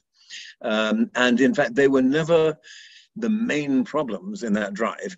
So if you look at sort of from the Greek state's point of view in the 1930s, um, I mean, the real challenges to homogeneity came from the Slavophone population, came from the Albanian Cham population. Uh, it was not, and it, from a strategic Greek point of view, uh, say that, for example, the Turkophone uh, Orthodox Christian migrants were considered a relatively minor problem. Why? Because it was already foreordained that they would learn Greek fairly quickly uh, and that they would be absorbed into the Greek mainstream fairly quickly. After all, they had nowhere else to go. And, uh, you know, there was, in, in, a sense, in the long run, there was no reason to worry about them. Whereas there were other challenges to homogeneity, uh, which might actually, um, you know, prove much more threatening to the, and from the point of view of the homogenizers, you know, the, the, the, the Turcophone or partly Turcophone newcomers to northern Greece um, were perceived as a strategic asset uh, in Hellenizing the region and reducing the influence of the Slavs. So, in a sense, there is no particular surprise in the fact that you know there are people uh, who welcome our friend Ayhan Aktar in northern Greece uh, and are also invested in Greek nationalism, uh, because the, the, the, the, whole point of Lausanne is to create a weird kind of convergence between certain Greek nationalist and certain Turkish nationalist agendas. Now, on the Turkish side, which you know, I, I speak of more hesitantly, seems to be that also, I mean, the, the Lausanne exchangees were a fairly small community uh, within the wider universe of people who had only recently entered the borders of the Turkish Republic and were sort of divergent in some sense or other, whether by whether by religion or language or culture or whatever. Um, and, and, and, and there again, they were perceived as a relatively minor problem uh, in the sense, you know, there, there was the so-called Citizen Speak Turkish campaign, um, in the 1930s. It had an official dimension, it had an, an, an unofficial dimension. And as far as I'm aware, um, you know, the existence of, say, Greek speaking Cretans uh, in places like Ayvalık um, was never considered a particular problem in that campaign uh, in the sense that it was assumed that, that, within a generation they would learn Turkish and conform to the Turkish mainstream, uh, and you know, th- th- th- there will be nothing more to worry about, so to speak, from the point of view of the homogenizers. Whereas there were other populations, including the Ladino-speaking Jews, who were considered more stubborn opponents of linguistic homogeneity. Um, and so the, the, the Citizens Speak Turkish campaign was sort of at least as much uh, directed directed against them. So on the two sides of the Aegean, you have communities that were caught up in a in a in, in a maelstrom of you know homogenizing uh, pressure, which was actually much much bigger than you know their own particular problems. I mean, on the Greek side, um, I think that uh, that that 1930 was clearly a, a, a watershed, but maybe not exactly for the reasons that most people give. I mean, it's conventional wisdom holds, and it's partly true, that when there was a strategic, you know, you know, diplomatic alliance was struck between Greece and Turkey, and as a result, the issue of financial compensation was set aside, and many of the refugees in Greece sort of lost hope of getting financial uh, compensation. That in, in their disappointment, um, many of them uh, abandoned Venizelos and um, and began voting for the Communist Party. And certainly, you know, as a proportion of communist voters, uh, the refugee share was significant, although you know, the communist movement as a whole was quite small in Greece, uh, in, in, the totality of Greece. It's strong in certain parts of northern Greece. Uh, and you know, within that movement, the refugees were clearly you know, a significant element. That's that's that's and indeed in the Communist Party's own history of, uh, of, of, of, its record in the 1930s. You know, the point is emphasized that we were the only party that refused to make this sort of arbitrary cultural distinction between local people and refugees, and the refugees liked us for that, and they began voting for us in increasing numbers. So that's, in a sense, part of the part of the Communist Party law. But there's another part of the story, which is that a significant numbers of the refugees moved rightwards in politics as well, um, and indeed, you know, uh, Kalliopi mentioned the, you know, the modernist architecture around Alexandras Avenue, um, which was considered, you know, a great sort of generous gesture to the refugees at the time.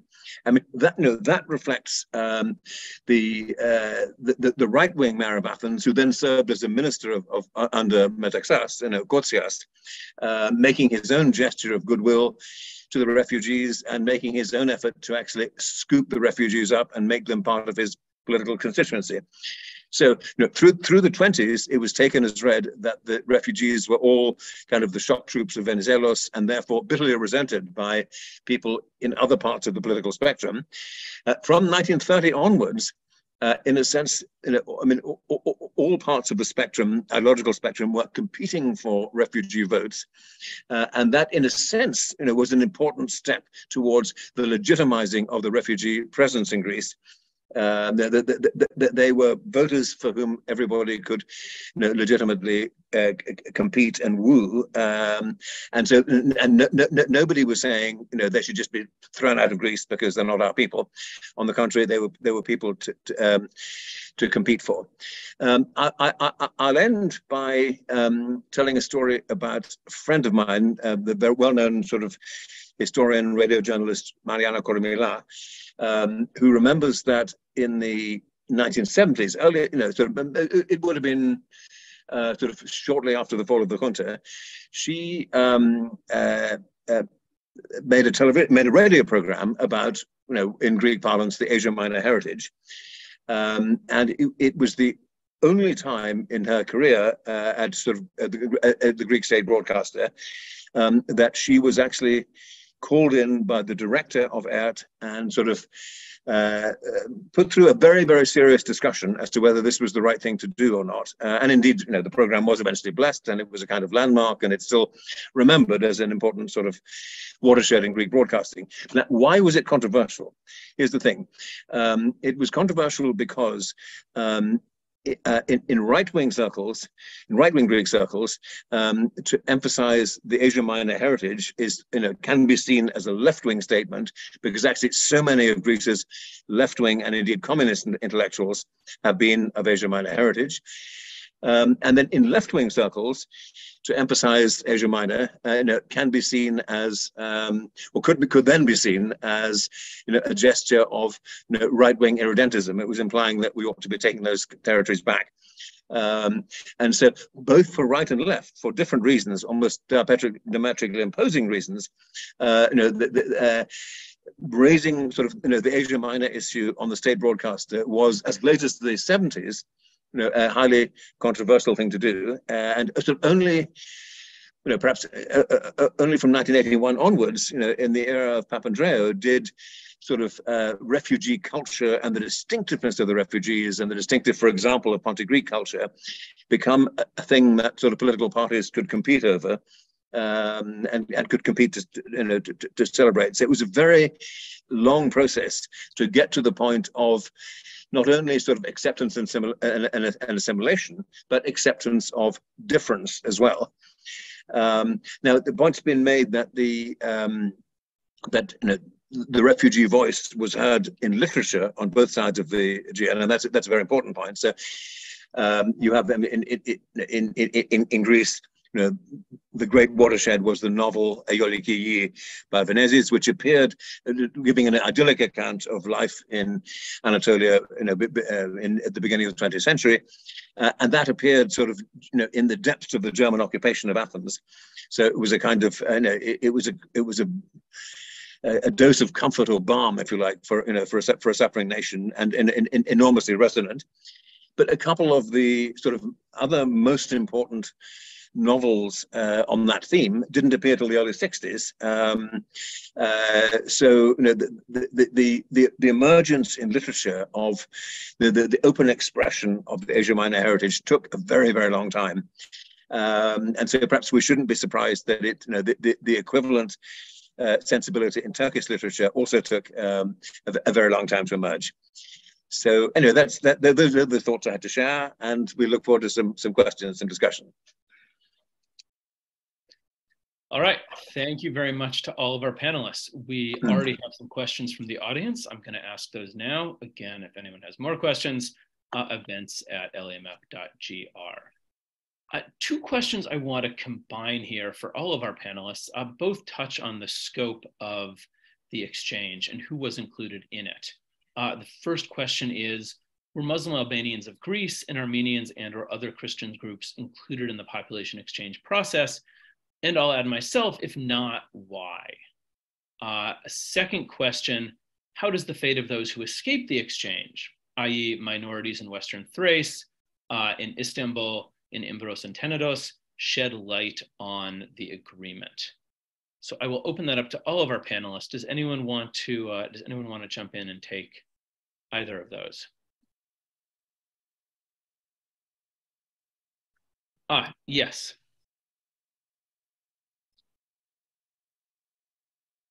May I? Uh, may I try to give an answer? Okay, uh, no. Uh, Albanian Muslims were not included. They were regarded as um, belonging to a different nation, not the Turkish nation. Uh, the Armenians were not included. The, the, the, convention says that the people who would be exchanged were Turkish citizens of Greek of the Greek Orthodox religion, and the Armenians belonged technically uh, to a different church. Uh, Greek Orthodox Armenians, I'm afraid, I think they were exchanged, but there were not that many. Uh, now, the the uh, the fact that the two minorities remained, the Muslim one in Thrace and the Greek one in Istanbul and Imvros and Tenedos, uh, by the way, they, the, the, convention does not use the term Greek Orthodox for the uh, Greek community of Istanbul. It says the Greeks of Istanbul, probably because there were others who could be considered Greek Orthodox, like Serbs, uh, who should not be exchanged. Uh, now, the reason for this was that the, the, the Greek uh, side, Venizelos himself in the Lausanne negotiations, insisted very strongly that the ecumenical patriarchate should remain in Istanbul, and therefore it should have a flock. And as, an, uh, as a way to offset the fact that this community remained in one place, the other, commu- the other community remained in Western Thrace as well. Thank you for that. Do any of the other participants have anything to add to this?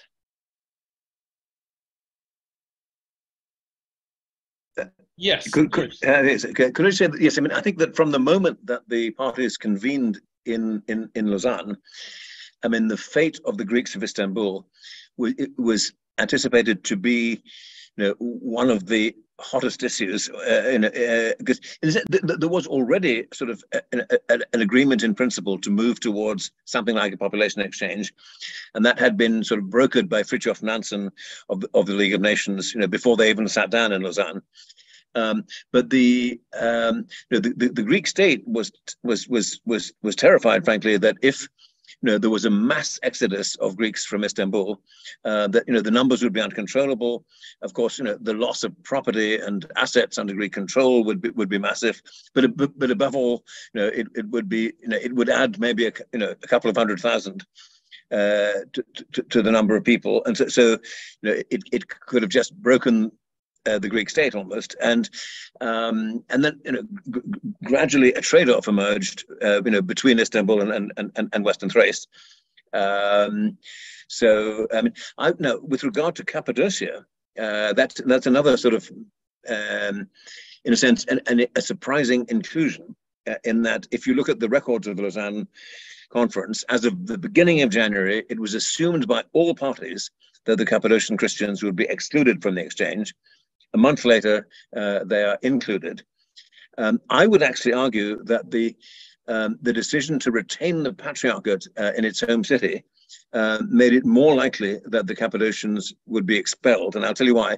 Because you know, from the Greek point of view, um, having Cappadocian Christians deep in Anatolia would have created an, a rival potential flock for the, you know, the maverick figure of Papa Eftim, who was being set up by the Turks to undermine the patriarchate. Um, and you know, from the Turkish point of view, um, having Cappadocian Christians uh, deep in Anatolia remaining there would have actually created an extra flock for the ecumenical patriarch. So, in a sense, once once the patriarchate was allowed to stay, uh, it became more likely, I would suggest, that the, that the Cappadocian Christians were uh, forced to leave. Thank you. Any further thoughts on this? If not, move on to the next question. This is for Dr. Amygdalou. Uh, how were abandoned buildings treated in both Greece and Turkey? Uh, and I specifically want to I'll add here too, uh, specifically religious architecture. Uh, how were churches, mosques uh, used, preserved, not preserved by both sides? Uh, and maybe what does this tell us about the way the exchange and the populations involved were remembered and were treated? Uh, abandoned, um, do you mean the abandoned uh, or left behind at the time or abandoned in the long term after the population exchange? Could you, could you get a sense of what the question means? I assume they mean buildings that were abandoned as a result of the exchange. As a result. Well, um, in both cases, they were largely largely re-inhabited by incoming refugees and public buildings, communal buildings such as churches, and schools were also reused. Um, churches were usually, um, often, no, not usually, but often uh, turned into mosques. In the area that we're working on in our research project, we see that many churches, in many villages, the churches were demolished rather than reused. So we see both uh, attitudes, uh, both things happening at the same time. In one village, uh, the mosque is it's turned into a mosque in the village down the street, down the road. It's uh, demolished, so it it um, uh, changes from place to place. Uh, it's important to point out that, um, and uh, my co-panelists already know this, and they have pointed it out in their own work. Um, the Muslim refugees were lucky enough to move um, later uh, in the course of the events, but they were unlucky in the sense that by the time they uh, tried to settle in the designated places, uh, the houses and uh, buildings that were supposed to belong to them had been um, destroyed or um, looted by other local by local populations. Um, so for for sometimes for good reasons, sometimes not. I mean, areas such as Izmir, uh, we, on which we're working, were on the corridor of the war. So many villages, many Muslim villages uh, were burned and destroyed because of the war. So there were many people in need for housing that were not exchanged. They were local populations that were in need of, of housing as well. Uh, so the moment the Greek uh, refugees left, many of their houses were taken over by the locals before the Muslim refugees from uh, Greece uh, arrived. Uh, in other cases, of course, it's just instances of looting or even uh, appropriation by upper classes or by people that had means, political means. Uh, we, we, have instances where local um, Turks managed to get uh, to appropriate and to own a, a series of um, um, Greek properties or Armenian properties uh, because of uh, close connections to the governor or the government. So we have many different fates, I would say, uh, regarding the buildings that were left behind. In Greece as well, in Greece, there was not an abundance of um, um, exchange properties, so most of them were reused. In Greece, we have the opposite um, situation Greeks arrive and the Turks haven't left yet. So in, we have stories in which Turkish families are forced to live together with the incoming Greek family between 1922 and 1924 when they leave for Turkey.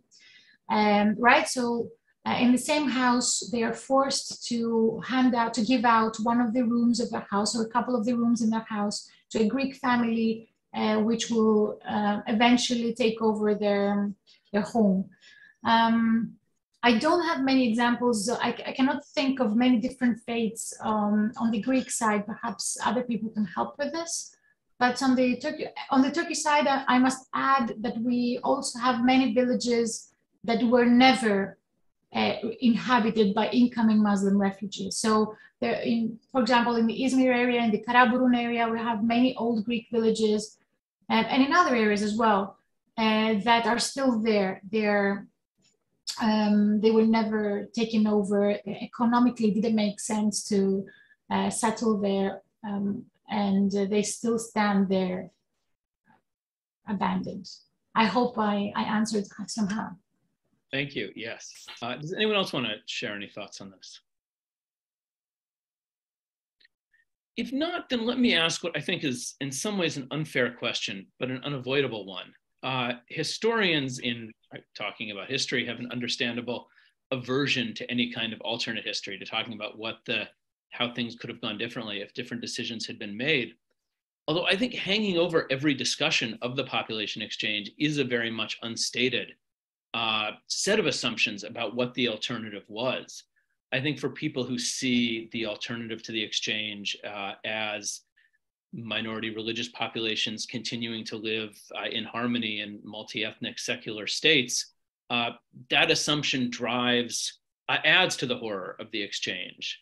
Uh, conversely, I think for people who imagine that the alternative to what happened was something much closer to, you know, the partition in uh, India, something much closer to the Nakba, something in which essentially the results are the same with much more violence, much more death in the process, it's easier to see the exchange as a lesser evil. Um, so with the caveat that of course we can't know what the alternative was, I'm interested in how people uh, think about that, how we think about making sense of this, you know, what was ultimately a political and diplomatic decision in light of assumptions about the alternative. Uh, Professor Aktar. Uh, thank you, Nicholas. This is this is uh, this is something a white elephant in the room. Uh, people are talking about exchange, but you know they don't want to speculate about the alternative uh, uh, solutions. Uh, in my opinion, alternative solution was rather impossible because of the nature of Turkish and Greek nationalisms you know, uh, anyone who has been to United States or United Kingdom would see the difference between American type of nationalism and the Turkish or Russian or the Greek one.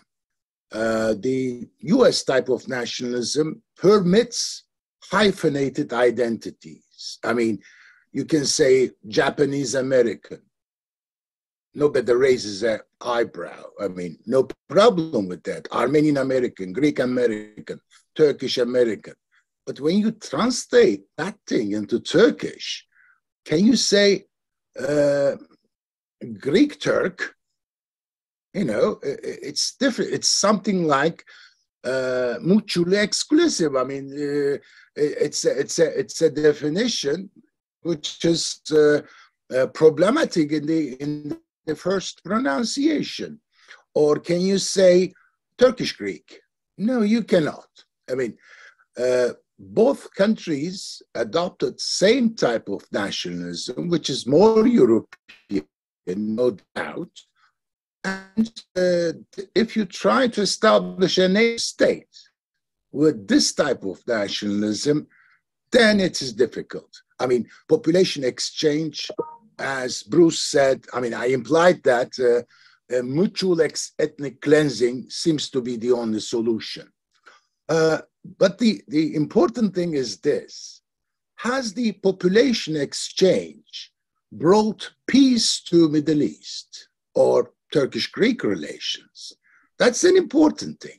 I mean, I would like to remind you, to all of you, the famous incident of Imia Kardak, uh, you know, 20 25 years ago. There was a silly rock on the Aegean, close to the Turkish coast, and there was only uh, two dozens of goats there. And because of that silly thing, Turkey and Greece were in, on the, uh, came to the brink of war. All right. I mean, and think about the issues diplomats are still discussing nowadays. I mean, how Greeks violated Lausanne, how Turks violated Lausanne, and this and that. Uh, think about the irony or the agony of these uh, two existing uh, minorities. I mean, according to 1927 population census in Turkey, we had about 115,000 Greeks in Istanbul, in Imbros and Tenedos. Okay, how many we have now? 2,000. And nearly 60% of them are over 50 years old. And the, the, I mean, the concept of reciprocity, doing terrible things to each other, each other's communities, minorities, was a way of life for the Turkish and Greek diplomats. I mean, this went on for uh, for a long time. Yes, population exchange was thought to be a viable solution, but after 100 years, we realized that it's not a solution at all. I mean, either nation states try to formulate certain modus vivendi for the minorities to exist and coexist with the majority, or permanent state of war. That's what we have. And uh, I mean, both sides will apply to United States for buying new toys. I mean, F-19s bombarding jets or something like that. This will this will be the way of life for both sides. Uh, this is the this is the important thing. I mean, population is not uh, uh, it also means that to about criticize our forms of nationalism permit to hyphenated identities. Okay, that, that seems to be the problem. I better stop here. Thank you so much. I think we unfortunately are out of time. There's much more that we could discuss.